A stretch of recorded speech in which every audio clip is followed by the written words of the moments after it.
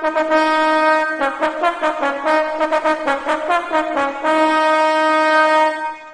bless each one of you. Welcome to today's video. Today's video is to put your trust in God. A lot of times when Christians get into trials or difficult circumstances, they immediately run to the Bible and begin spending a lot more time in the Bible than usual. And that's a good thing, but it's not the best thing. You see, in order to prepare for trials, you and I must prepare long before the trial comes. We must dedicate our lives to studying the scriptures and cultivating the mind of Christ, and especially dedicating ourselves to knowing who God is. Because in that we find our strength, in the character, the attributes of God. Let me give you an example. I, I meet so many people when they're passing through times of trials in which they're constantly asking themselves this question What is God doing? What's happening? What is God doing? And it's almost as if they will not have peace unless they can figure out what God's doing. And that's not really the, the biblical way of approaching a problem. You see, I don't need to know what God is doing in the world if I know who God is.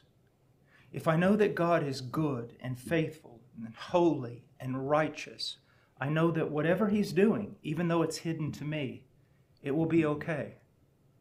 It will be the best. It will be the good for his people, even in the midst of suffering. You see, we must grow in the knowledge of God. I know there's so many people right now talking about the coronavirus and how you should do this and you should do that and spiritual principles for this and that, but but it's really not that complicated.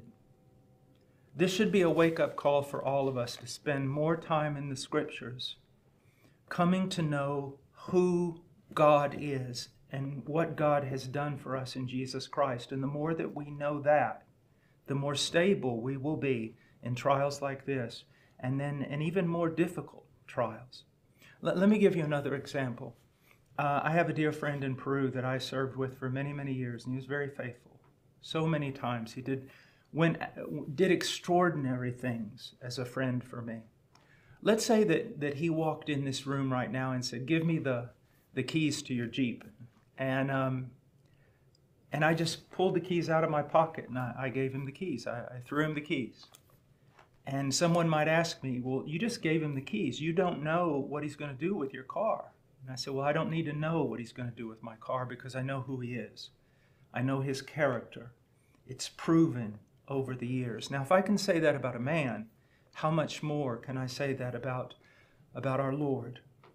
who in all my years, and it's the testimony of every saint, and for 2,000 years, in all my years, has never failed once. Not, not any of his good words have ever fallen to the ground undone. So that's the first thing I wanted to tell you is to trust in God. The second thing that I wanted to say is in the midst of all this, we must continue on doing the work of missions. There are still nearly 3 billion people on this planet who have not heard a proper gospel. And I know that there are terrible trials and, and, so many things are going on, but we must press on. And we must use this opportunity to share the gospel of Jesus Christ with people, to share the message, but also allow them to see how that message has impacted us. That we're not fretting, we're not worried as others are, that we're not, we're not scheming, we're not seeking to gain everything we can to protect ourselves, but we're seeking to serve others. God bless each one of you. I hope you enjoyed that clip. Remember to put your trust in God because in the middle of the hurricane, the peace is Christ. Run to Christ and flee from the things of the world. Brothers and sisters, remember, put your trust in God and not trust in your own self. And remember how God is with you all the time. God bless each one of you. And remember, Jesus loves you.